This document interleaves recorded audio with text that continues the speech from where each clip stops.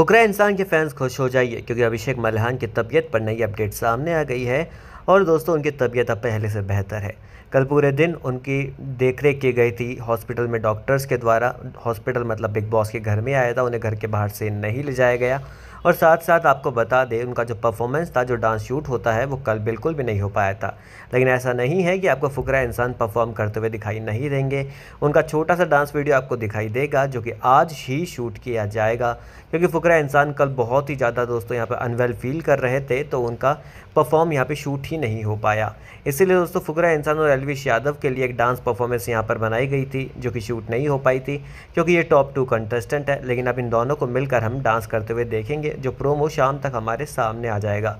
फ़िलहाल अपडेट ये है कि फुकरा इंसान की तबीयत अब पहले से बेहतर है और अब वो अपनी परफॉर्मेंस शूट करने जाएँगे। ये काफ़ी देखने में बेहतर होगा क्योंकि एलविश और फुकरा इंसान एक साथ हमें डांस करते हुए नज़र आएँगे। आप कितने एक्साइटेड है फुकरा इंसान और एलविश के परफॉर्मेंस के लिए हमें कमेंट सेक्शन में बताएँ और सब्सक्राइब करें चैनल देखो देखो और भी खबर जानने के लिए।